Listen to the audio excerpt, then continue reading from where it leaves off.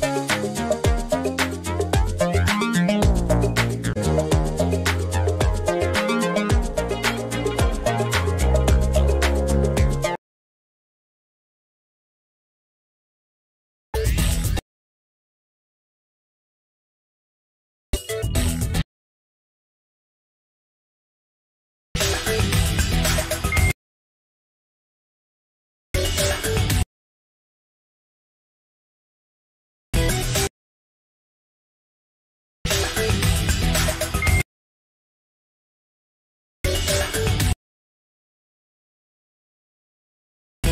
TV. My name is Anton.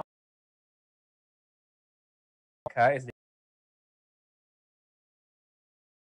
provide a space for you can do to help build your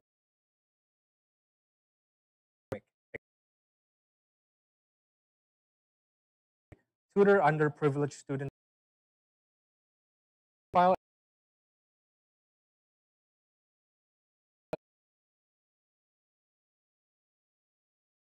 answer this question on the comment section of our social media account.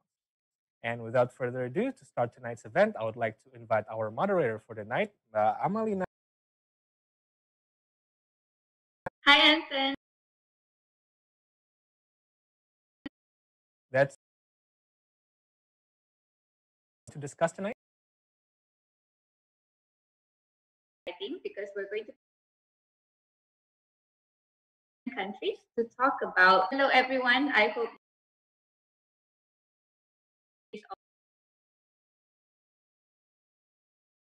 out there happy Eid. My hometown. I am the YC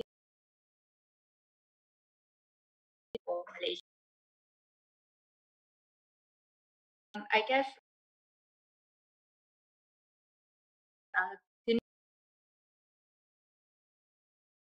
uh, coming and have any questions, um, drop your question. Um, obviously, you don't. You're not here to listen to me, but rather maybe we can start. ourselves. I'm Yue. I'm from states. I was uh, I was uh,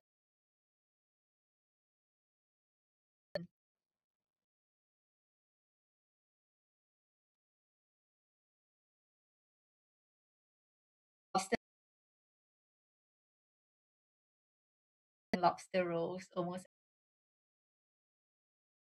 Boston's home to to the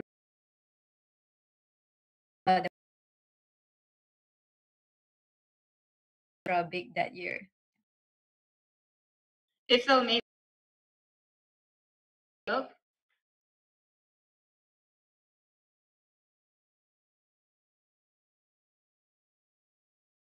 management. I think that workshop was probably pretty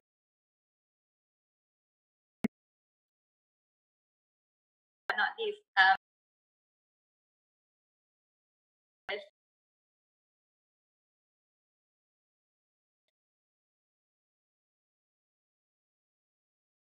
I'm also program back in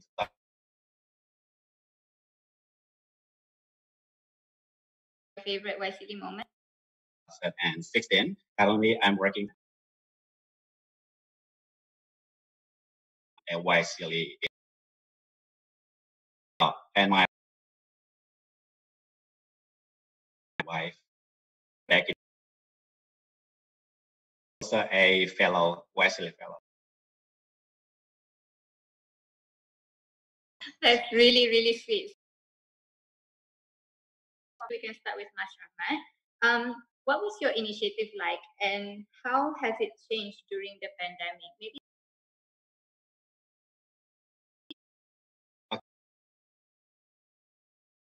Two slides.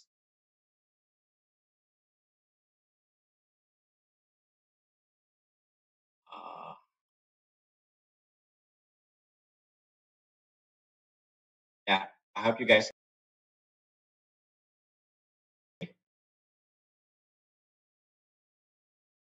Yeah, the COVID. Uh.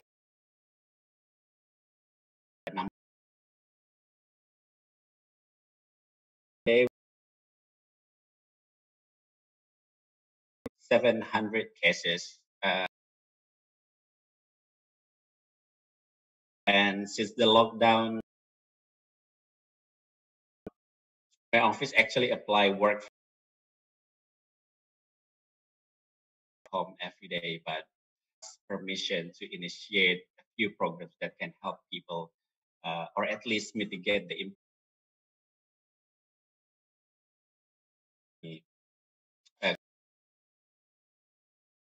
We have done quite a lot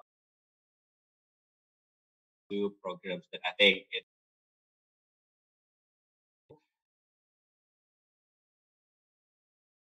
down. So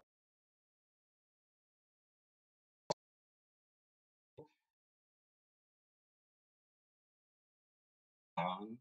So.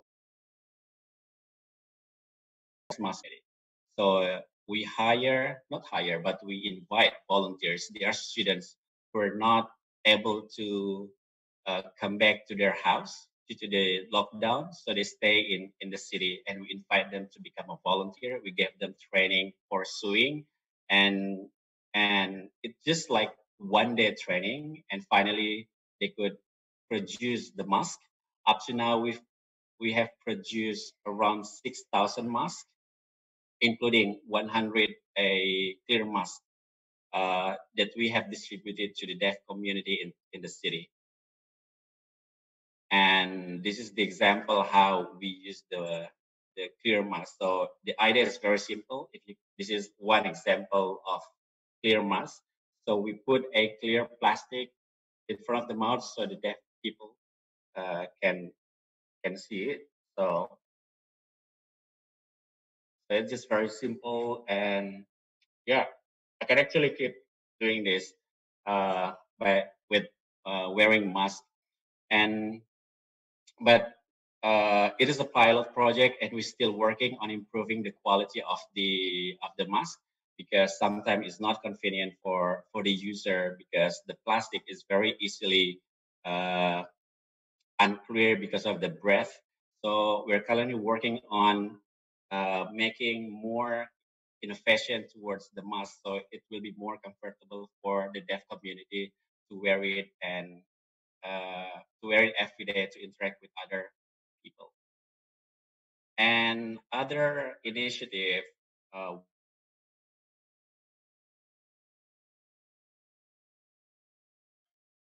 so it aims to provide a food security to our community.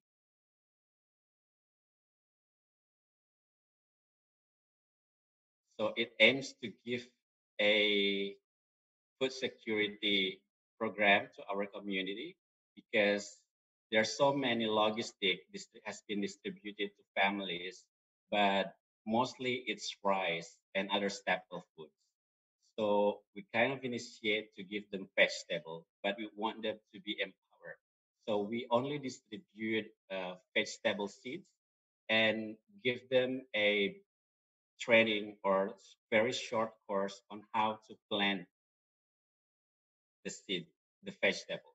And after three months, together with all the community members, especially the local mothers, we harvest the vegetable, distribute them to to those who are in need, and and so this the community member can help each other by providing uh, foods to to the household uh, who are currently because many uh, people cannot go to work because of pandemic and they stay at home.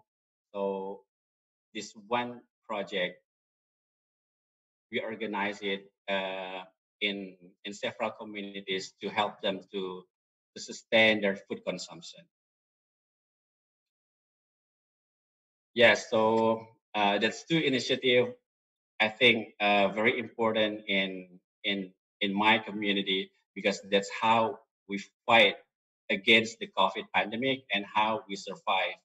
Uh, because lots of initiative now are uh, going on, but we want to think inclusively by by also embracing the the deaf community, the local mothers, and also try to provide the a the needs of of those people. So as long as we are creative, I think we can find a solution. We can find something that we can do to help our community in order to survive during this uh, COVID-19 pandemic. I think that's all for now. Amal, back to you. Thanks so much, Rahmat. That was amazing. I mean, I love the two initiatives that you guys are doing because it's um, you know on a grassroots level and it easily could be replicated in other countries as well. Thank you so much. That was really inspiring. Um, yeah, so maybe we can also go um, to the next speaker if uh, if we can have uh, Yiwei. All right, let me just share my screen.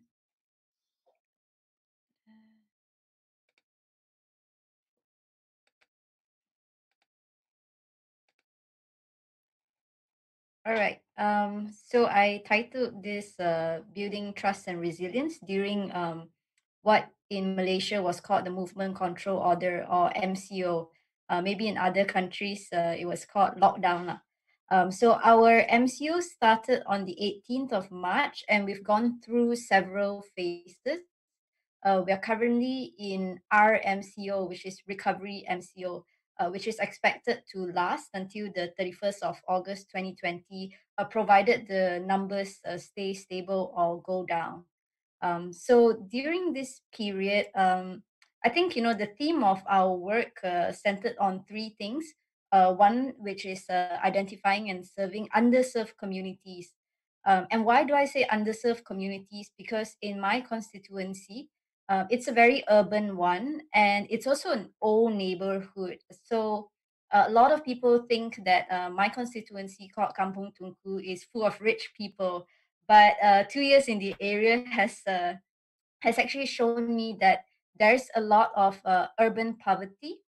Um, so there are people who live in houses, big houses, but they don't have disposable income or their main breadwinner has either you know passed away or left the family and they're struggling so there's a lot of urban poverty uh, we have you know unreported single mothers uh, persons with disabilities uh, etc so so uh, during the movement control order it was uh, really important for our team to be able to detect these communities um, because in in my constituency so um, it's a bit gray you know we we don't have areas where they look markedly poor.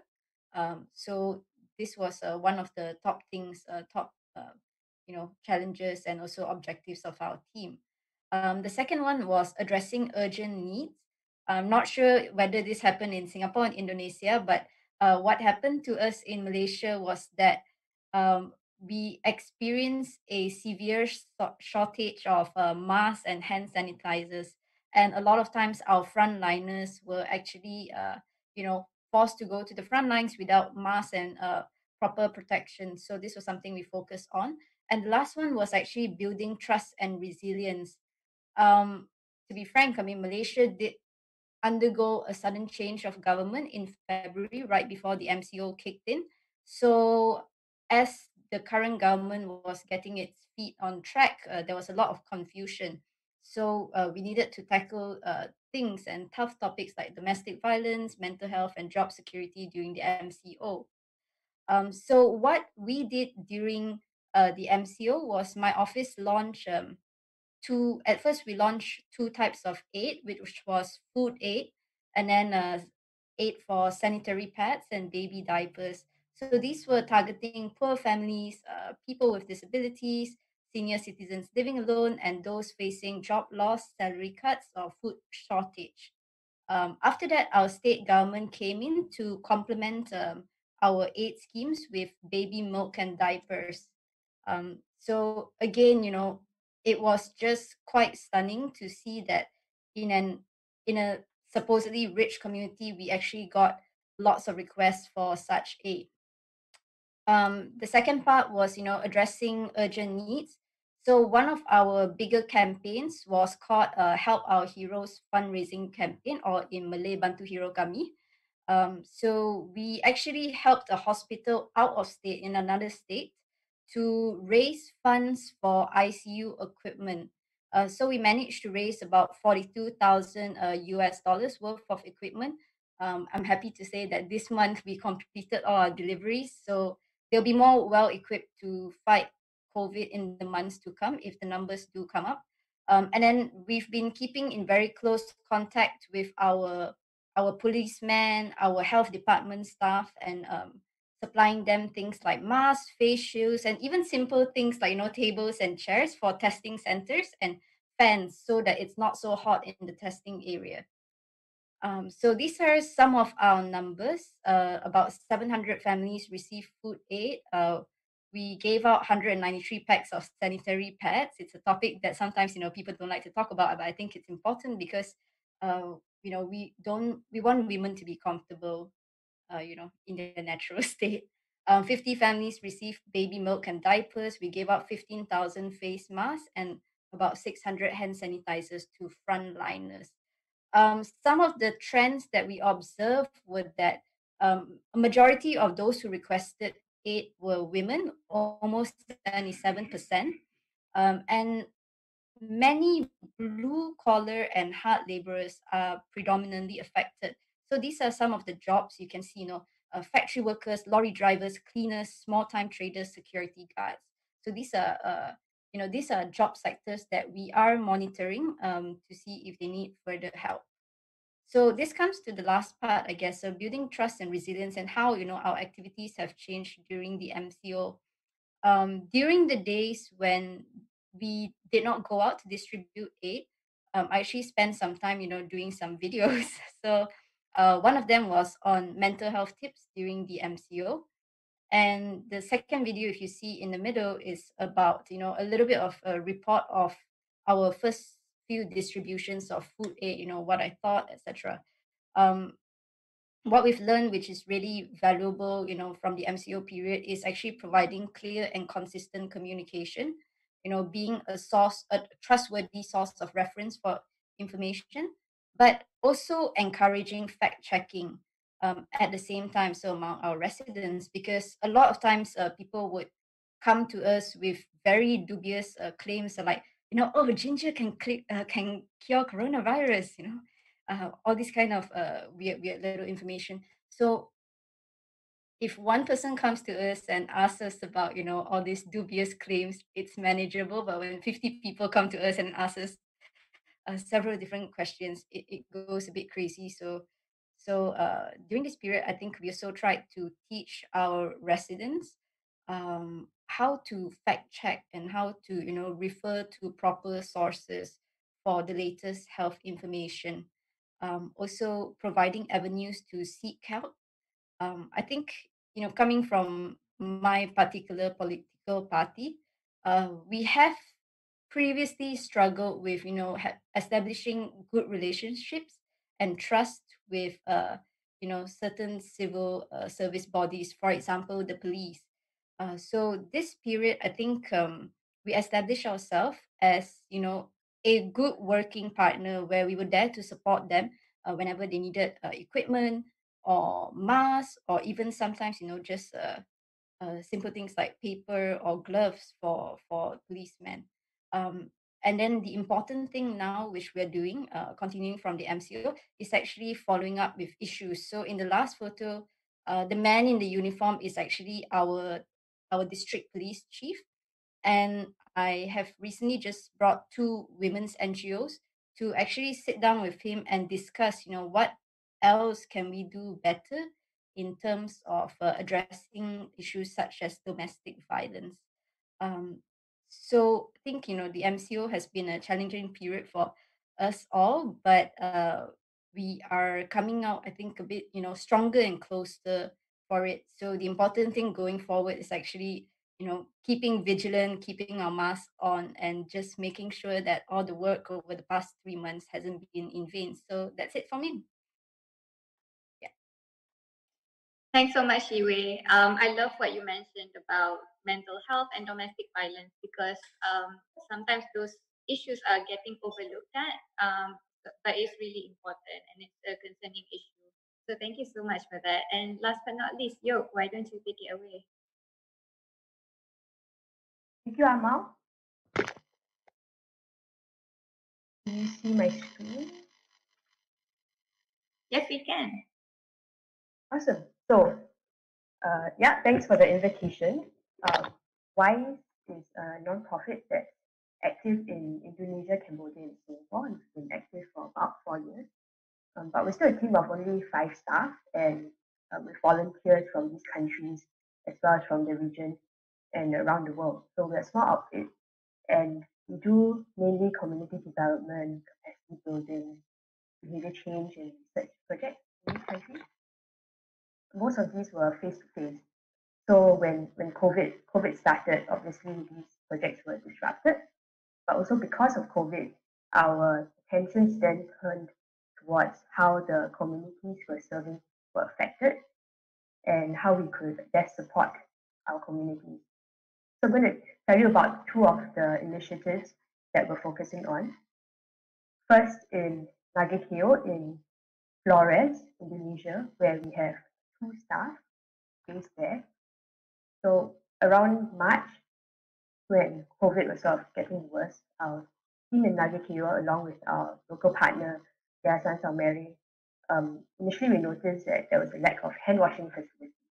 So we thought, you know, since we um, work on water and sanitation issues, uh, why not we provide hand washing facilities to um, the public markets, um, bus stop, and even to the local hospital.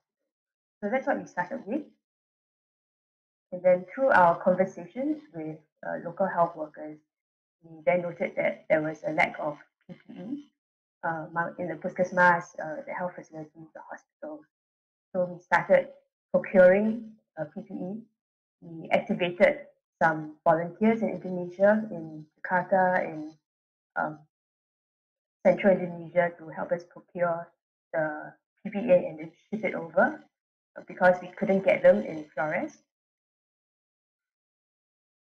And so a lot of our work has been focused on that because uh, frontliners um, in the area are really uh, lacking a lot of basic equipment to even be able to respond.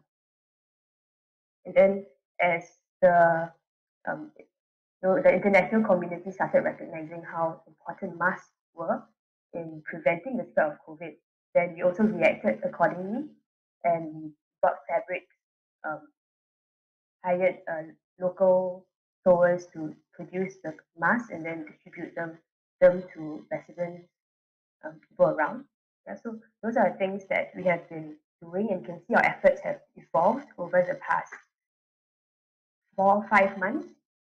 And then our next plans, um, we are working on working with YouTubers to produce messages to encourage people to continue practicing these um, safe distancing and, and hygiene efforts because you know by this time uh, a lot of fatigue has set in and uh, you know many of us are, become a bit more complacent so we're working on those messages to keep the community encouraged and help them to continue practicing these behaviors so efforts have been mainly run by our small team of staff and our partners, supported by volunteers. But um, we couldn't have done this without the wider community actually stepping up and fundraising and donating to us. So we're uh, lucky to have almost 100 donors contribute to this cause to allow us to do this work. And our work couldn't have been done without um, the wider community supporting us. So that's what we've been doing in Nagekeo in Indonesia in Singapore, uh, the needs are very different, right? There isn't a lack of uh, PPE, for example, and the government is distributing masks to um, the population in general. So what we thought in Singapore we could thought was how we're thinking about how we could leverage our expertise that we've built in our organization. And what we came up with was um, we've been doing a lot of data change and research work. So but there isn't a lot of data available on, on people's behaviors in Singapore. We thought we could leverage our expertise to provide data and insights on what behaviors people are practicing and why they may or may not be practicing these behaviors. And our aim is to share this data to the public as well as to our partners to help inform their strategies. For example, what kind of messages should you be um, communicating? Should you be focusing on hand washing? Should you be focusing on wearing masks and so on? And one thing we did was we translated this survey to 13 other languages, including um, Malay, Tamil, but also languages that uh, expats may speak, Korean, Japanese, and also our migrant workers um, like Bengali and so on. So our aim was to really get a good picture of how people are behaving and use this data, leverage this data to help others, support others in their strategies in supporting their own community. So in order to do this, we didn't really have to mobilize funding because we're using our expertise. Instead, who we mobilized were volunteers, so volunteers to participate as survey respondents, to interview their friends, their family, um, mobilize a team of 70 plus translators to get the survey into the different languages. We are, have a partnerships team and public engagement team to, to engage organizations, to tell them about survey, um, share our results, to share our results with the public through social media and so on. So we're hoping that this will really help people understand what they can do as individuals in terms of how to behave to prevent maybe a second wave or further waves from happening. So these are the two main efforts we've been focusing on. And what I'd like to highlight is that uh, with these two examples, how very different the projects are um, because of based in different places, different contexts, different needs. And what we've done as an organization was to try and recognize what these needs were, where we were present, and what our strengths were in those places to be able to evaluate the efforts. And that's all I have. Thank you very much. Thanks, York. And I think it's really interesting because working in two different countries with really different needs is interesting on how you can uh, actually engage with different stakeholders and really understanding their needs.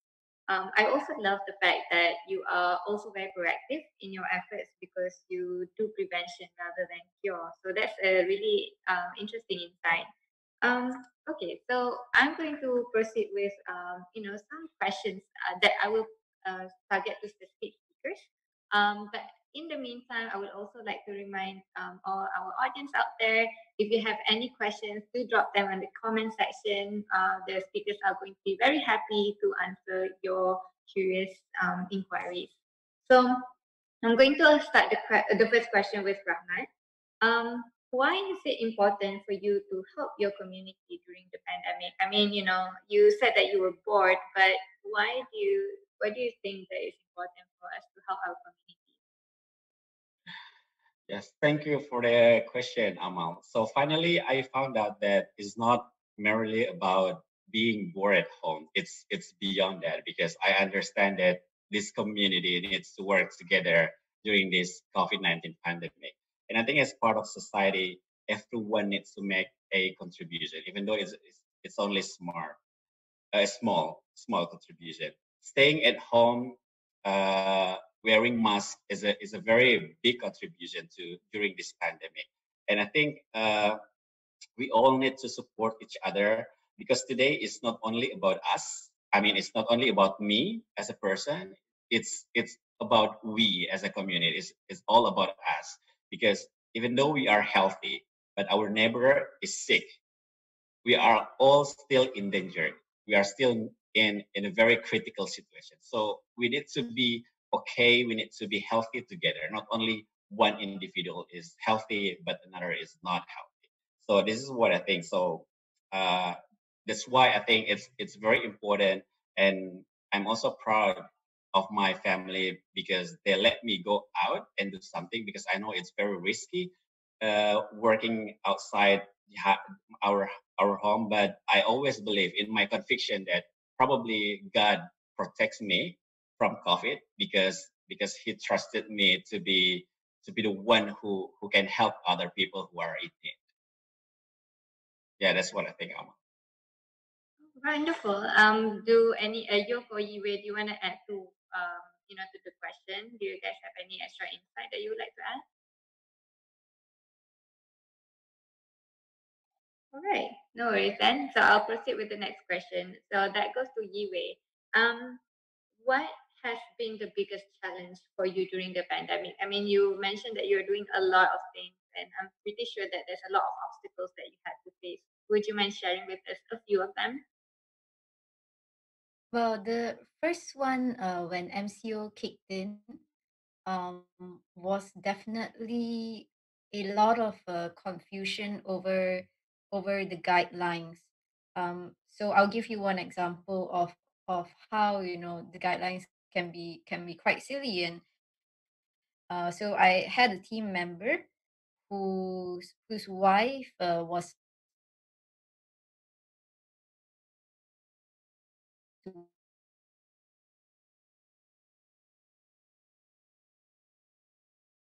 she has to sit in the back seat and my Sorry, friend you were, I think you were breaking up a little bit. Would you mind just repeating a little bit, uh, a little bit earlier? What you uh, were where, saying? Where did you lose me? Something about your husband. I mean, your your one of your colleagues. Yeah, so one of my team members was uh, fetching his wife to work, and they got stopped by a policeman. And the policeman said, "Oh no, she has to sit in the back seat." And then my friend said, "Yeah, but that's my wife. You know, I am going to go back with her at the end of the day." Uh, but the policeman wouldn't accept it. So, so there was a lot of confusion with the guidelines at the beginning of MCO. Um, it was, you know, difficult to you know planning how to move around uh, because on one hand there is the message to stay at home which we should follow uh, but on the other hand there were a lot of people already you know writing to us for help saying they did not have any food know they needed baby milk etc so that was the first challenge. And then um moving on the second challenge would be would be um actually you know really just reconsidering how I function as you know a state representative, how I function as a politician, because we're so used to attending events, uh, you know, organizing events of our own, attending community events organized by communities, and suddenly everything has come to a halt. So it you know really made me reflect uh, as to you know how do I communicate with my constituents? That's the first thing, and what are my core duties you know my core responsibilities as as an assemblywoman um, so those were the two major challenges and uh, we've had to restructure our office quite a lot so in terms of you know welcoming people seating arrangements etc uh, and also getting people to comply with these new arrangements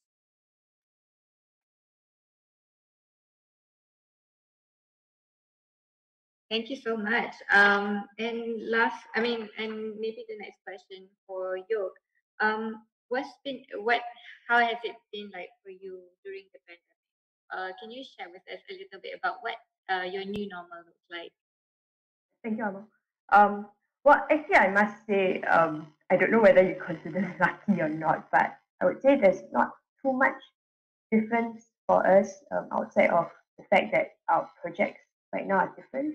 I think partly because um, we work in different countries, so we do work remotely a lot, right? We use online tools to communicate with each other. So, in a sense, now we're just going even more remote, and um, really we're already accustomed to working online. Um, but I, w- I would say what what's different now, and that's linked to your question earlier about the biggest challenge, is that because as an organization, our basic duty is to take care of each other. And this pandemic, um, you know, looking at the findings on how much impact it can have for, on your health, um, I, I personally, and I think our core team members as well, feel that responsibility to make sure that our, our team members don't get sick, right? Not only from COVID, but also from the stresses that come from being um, in this situation and also trying to manage how you work and your personal life around those stresses, stresses is uh, very challenging. So I guess that is a new normal. in well. That's really true. Um, I guess that makes me quite curious. I mean, you know, you guys are the you know your community leaders in your own ways. Um, would you sharing with us on, you know, I will be asking this individually, but how do you actually take care of yourself and to make sure that you guys are not um, being overwhelmed with um, all the hardship and all the obstacles that you guys had to face, especially during the pandemic? Would you guys mind sharing with us? Um, you want to start with Yue?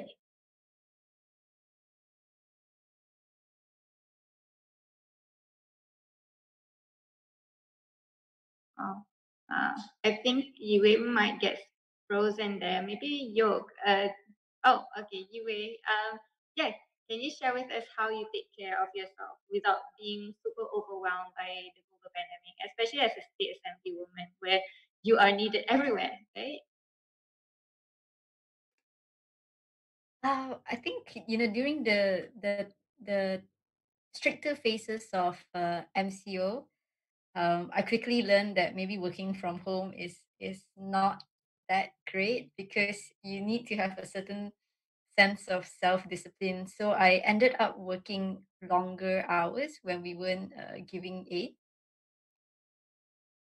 Yeah, um, I would you know just be in front of my computer and answering questions and you know looking up the SOPs. Uh, so so that was the hard part and and then i realized that you know my video about taking care about mental health also applied to me. Uh, things like you know uh, because my parents live in another state so things like like like uh, understanding that you know social distancing uh, doesn't mean emotional distancing. It's actually good to call in and talk to my parents every now and then. Uh, that was that was what helped uh, during that time. Um, otherwise, I think you know it was actually really helpful to have a supportive team. Um, although the burden was much heavier during the earlier parts of the MCO, uh, because and partly because we actually tried to scale the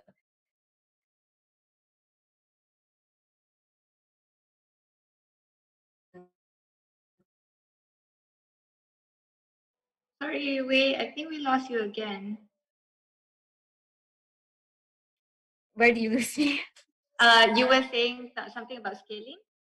Right. So we scaled down our team to a very bare minimum of uh, volunteers, um, which meant, you know, those who had senior citizens or very young children living at home, we said, you know, just just take a break uh, for this time because we didn't want to put their family members at risk. Um, so although you know work was heavy, the team was much smaller, but uh, the team support also, you know, helped us uh, manage our emotions and you know navigate this pandemic together Thanks so much for sharing that. And I love what you say about emotional distance. That's such a cool word. Um, so what about you, Rahmat? How do you take care of yourself? Especially because I know you had you recently had a baby. Congratulations, by the way. But yeah, it must be really hard managing. yeah, it's it's very difficult, and I know I'm aware that I'm in a risky situation because almost every day I have to go out, and interact with many people, volunteers, community members, uh, many groups of people. So uh, the things that I uh, take care in the first place is my mindset. I always put in my mind that I'm healthy, I'm stronger than the COVID. So I always believe in minds over matter. So when if you think positively that you're okay, I, I believe that your immune will be fine. Immune will be stronger than the COVID, and even though you have the COVID, you'll not be affected that bad. But sometimes I sometimes I thought that oh probably I'm I'm I'm I have a COVID, but it's not affected me. Uh, how do you call it? Orang tanpa gejala. Uh, but you know, like uh, there's always kind of thought, but uh, because I have a baby at home, whenever I come home, I I always have to take off my clothes in a garage and put them in the laundry and directly wash, uh, take a shower before uh, make interaction with my wife and my baby. So, and I always consume vitamin. It's always in my bag. Always wear mask and hand sanitizer every time, wash hands, and those kind of things. I think it's very simple, but it's very important to do to to protect me. But the mindset should be should be in the first place. We need to fix it. Thanks so much. And last but not least, Yok, how do you take care of yourself? Yeah, so um, actually, uh, a few years ago, I did burn out, and after I burned out, I made one rule for myself: is that I try to work 40 hours a week, and I time myself. And if I go over time, I make sure I take that that time later on. Um, obviously, when COVID started, that became quite impossible. So I've been clocking quite a lot of overtime hours, which I will claim back one day. Um, but yeah, during COVID, it did become overwhelming, and actually, I I did do some something drastic. I I dropped out of part time studies that I was doing. I let go of an organization that I was working with, so I quit that organization. And although these were difficult decisions, I think it's also important for us to recognize that these are very challenging times for everyone, and it's okay to say that um, to give boundaries for ourselves because there's no point if we, if we fall down and collapse, we're not going to be useful to anyone. And I think this is a principle we try to apply throughout our, our organization as well. Like, don't force anyone to work. If you need to take time off, then you take the time off. Yeah, that is so true. And um, I came across this really awesome saying, saying that you know you can't give what you don't have, right? So if you are unable to have I mean, if you are unable to like have a lot of energy for yourself, you won't be able to give that energy to other people as well. Um, so I will proceed with a question. We actually have a question from one of our viewers from Queen Wong, um, addressed to Yiwei, but uh, I plan to also open this to other people. But um, the question is, what advice do you have for local youth who are interested in joining or conducting community efforts like those mentioned in your presentation? I think yeah you have done a lot of efforts. So how can um, how can the youth take part in your initiatives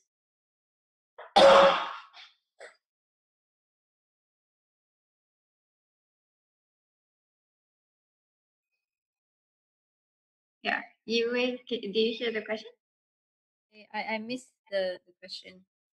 Oh, okay. So basically, um, uh, she's uh, Queen Wong was saying that um, from your initiatives, how can they take part in it as Malaysian youth? Uh, well, the first thing is it depends uh, where uh, Queen is. Um, if she's in the Klang Valley, then we definitely uh, welcome you to get in touch. You know, either through through my Facebook page. Um, currently, we we aren't doing food distribution as much anymore.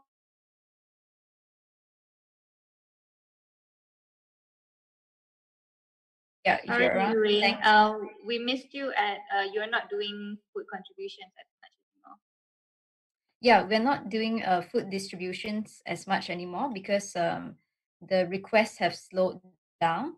Um, but do get in touch with your local uh, state assemblyman, your local adun, or local member of parliament uh, to see what you can help with. If you're around the Klang Valley, then uh, do get in touch with us through Facebook.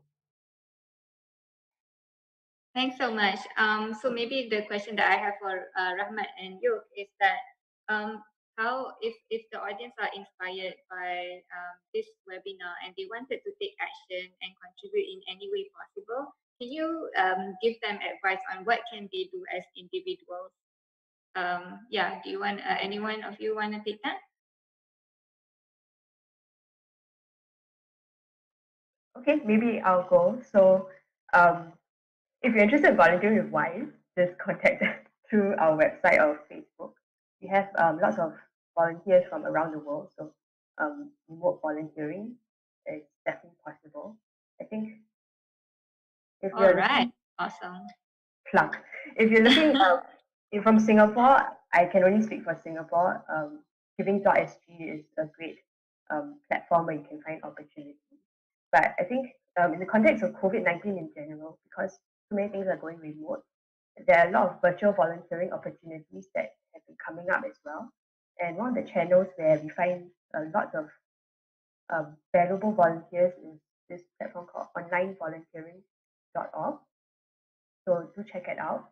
Um, another thing that I think we've observed in our local communities is that there are a lot of mutual aid efforts going around. So really just you know uh, have a look around your community. Maybe there's a information board somewhere where you can find more information, or just look out for your neighbor, right, and uh, and your friends, and see how you can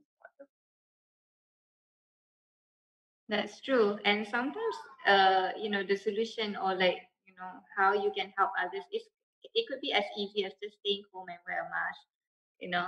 Um, and I just love what you meant um, by, I mean, what you said about uh, virtual volunteering and also um, looking out for your neighbor because, oh, I mean, you know, everyone says that, right? So thanks so much. Um, Rahmat, do you want to share with us on how um, individuals, um, either in Indonesia or internationally, like what are your tips in helping to take action? Yeah, I think uh, during this pandemic, as long as you have inter- internet connection, there's always a way to help uh, other people, even though you are far away from your uh, target group. Uh, but if you want, if you want to work with us at Dompet Dhuafa or the Floating School, for sure, you just email me or DM me on Instagram. We can discuss it further and find out how you can contribute and if you are especially in, live in Makassar, for sure we can meet up and discuss whether what we can do, or I also can help set up a the, the plan for your organization, and we also can work together uh, to implement uh, programs like my organization does. Thanks so much. Thanks, Rahmat. Um, so I'm going to move on to the next question. It's um, actually addressed to Yog. Um, and this question is from uh, Rafi Wijaksono. Um, basically, he's asking, how do we maximize teamwork with our organization, or community, or team while we are at home, or maybe in different countries? I think because we have a lot of experience in like you know working remotely uh, across the region. Um, do you have any tips for the audience out there? Okay, Rafi, thanks for that question. Um, and it's not easy question to answer. I think I could go for days on the different things that we've tried. Um, and some work better, some work, um, some work less well. Um, but I think what we, it's important to recognize is that everyone has a different working style, um, and everyone um, works best under different kinds of uh, positions, uh, under kind, different kinds of circumstances. You know, even just we have people on our team, some are early birds, some are night owls, so we're all working at different times. And what we then try to do is uh, create platforms that allow people to operate um, at their best. So tools that we currently use are Slack to communicate with each other. Um, we, we one I think one thing we do that's also important is we have team members who only focus on volunteer engagement. So whose task is to check in with people, make sure they're active. If they're not active, uh, check in individually to find out how they are, right? Because we, we might just be struggling uh, personally. And what I think is really important, really to maximize that teamwork. It's not really about teamwork, it's just caring about each other and making sure that we are doing well in our lives because if we're not doing own lives, it doesn't, what we're supposed to be helping out with our work is, is not going to happen. And that's, I think, the basic principle of teamwork and engaging each other is just caring for each other uh, on a basic level. All right. Um, okay, so I see that the questions are coming in. So please keep them, you know, please keep them coming. We love questions. Um, the next question is actually uh, addressed to Rahmat from Putra. How is it, I mean, um, tackling the pandemic in the midst of natural disasters at the same time? Uh, so you're from South Sulawesi, and um, they're saying that how do you actually uh, handle two pand- I mean, two issues at one time? One is natural disaster, and the other one is a global health pandemic. Could you share with us? Yes, it's a very difficult situation here in, in South Sulawesi because we, we just had a severe uh, flood that killed like many people, and there's about three uh, 107 1,700 people uh, currently live in a shelter uh, up in the mountain without any proper a facility and infrastructure. Uh, and in the first days of the disaster, it's very, you know, like everyone was very, uh, how to say, everyone was was panic because it's never happened like that. The flood brought a materials from the mountain and it's up to two meter, two meters. Uh, uh, rocks, uh, soil, and I I remember on the first day I got into the, the affected area, everyone didn't wear mask or everyone forgot that there's COVID or we, we live in a pandemic at the moment. And I think it's it's very understandable because everyone was in shock. And just like a few days after, uh, I and my organization, Dompet Dhuafa, now try to smoothly campaign and remind everyone again that we are still in the pandemic. And we distributed a mask, and also we now we start building a uh, water facilities and also wash program. Uh, I just uh, your presentation just remind me that we're also building that at the moment, so people can have uh, access to water in order they can wash their hands every time. So probably I need to talk to you after this. Probably we can work together to provide wash facilities in, in the affected areas. So yeah, it's very difficult uh, but we're trying our best to keep reminding everyone that we still need to wear masks, even though now they are in a difficult situation. But we're trying our best to always provide them with masks, wash uh, facilities, uh, and etc. All right, thank you so much, Rahmat. Um, so we have another question from Shannon Covet. And um, the question is during the pandemic, what's the best way to engage with the community to understand their needs, especially the underprivileged community? Would you mind if I ask Yiwei on this? Because you were talking about understanding needs of the community earlier. Would you want to take that away, Yiwei?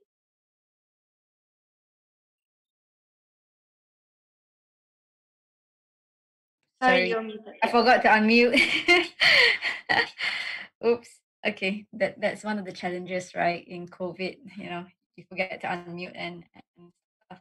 But um, I think one of the first steps is uh, just having, you know, a customer service or, or a feedback team that is, uh, you know, quite quite supportive and empathetic. Um, so when people ask us for help. I had two two or three staffers, um, you know, receiving calls and SMSs uh, for food and you know baby diapers.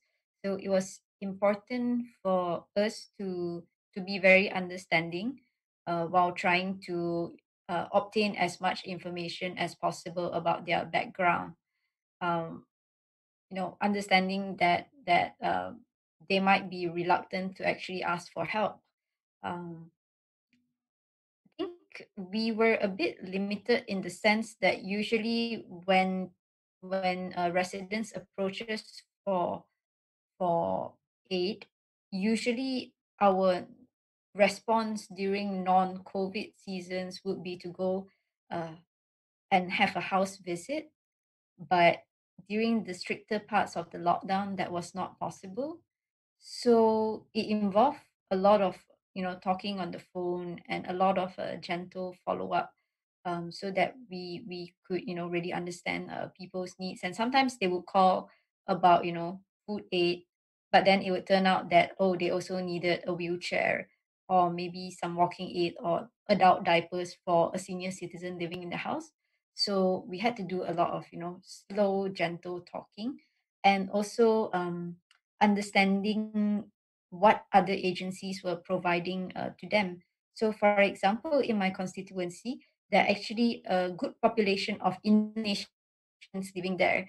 Um, so the Indonesian embassy uh, was good to come over and they gave uh, food uh, to each of the families from time to time.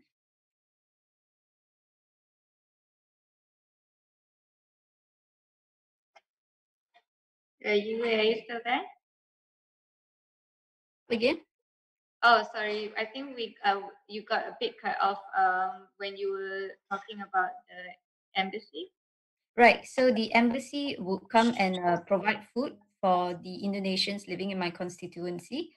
Uh, so once we knew that the embassy was making their rounds, uh, providing food, uh, we actually also, uh, you know, reached out to those Indonesians to let them know that, hey, you know, we have other things uh, such as milk and pampers for for the kids. Do you need that? And uh, they were quite happy that we asked, you know, because it was something that they didn't think that you know someone from the government would help provide for them. So thank you so much. Um, okay, so we're getting a lot of questions now. So I'm going to take one last question, uh, if that's okay. Um, this is addressed to you um, from Zara Aulia. Uh, when building a community, how do you manage the time to meet with different time zones, for example? How do you overcome or anticipate cultural differences that might influence community decisions? Especially because when you were talking about Indonesia, Cambodia, and Singapore, these um, you know these countries have different cultures. So how do you actually manage that? Uh, thanks, Zara. Um, with the first question um, across time zones. So I mean, luckily, mostly we work in Southeast Asia, so our time zones are similar, but we also do have volunteers from as far away as the US. So we have to adjust accordingly. I think um, for us, we try to be as accommodating and understanding as we can, and we use tools like a Doodle or when to figure out what is the time that um, best suits everyone. Um, but I think another thing we can do is, you know, if we don't need a meeting, then there are other ways to communicate. Maybe just um, chatting with each other, which doesn't require us to be online at the same time. Um, with cultural differences, yes, I think that that's difficult. I think the the first thing is everyone there has to understand that uh, do have different perspectives and views that might not align with each other, and to come in with that open mind. I think that's first. And second, I think it's important for whoever is um, coordinating or moderating that discussion to ensure that everyone has the space to speak and to provide a safe environment for them to speak out. So recently, uh, we had a meeting a few days ago. So and um, I happened to be moderating it, and I found that people were not, some people were not contributing as much. So one thing I tried was just to message them personally to ask, so was there anything they wanted to share that perhaps they were not so comfortable sharing out the group. Maybe they could share um, directly with with us, and and then I could help uh, float it up anonymously. So that's one thing I tried. And then another thing is after that meeting, then we uh, my colleague created a Google form, anonymous form, right, to collect more inputs after the meeting. So that also gives an opportunity for people who are less comfortable in an discussion um, meeting space to uh, air their views in a different platform. Thanks so much, Yok. Um, I think that's, uh, those are all the questions that we have today. And, you know, we're heading towards the end of the webinar. And um, uh, before we uh, conclude, maybe I can give some recap points that I think would be quite relevant for those um, audience out there.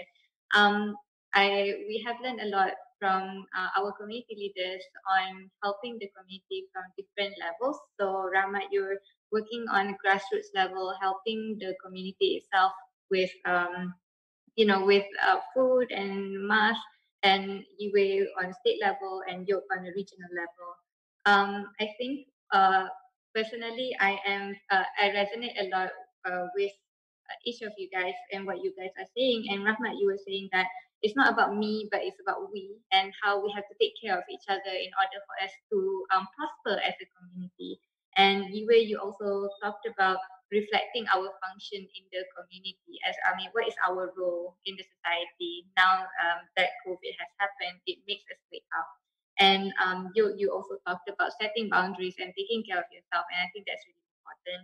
Um, I guess in conclusion, I could say that you know COVID is a great wake up call, and it's important for us to not just take care of our health, but also our mental well-being and um, also our community as a whole in order for us to um, hopefully get out of this uh, global pandemic as a better community. So without further ado, I guess I'll get back to Anton and yeah, thank you so much.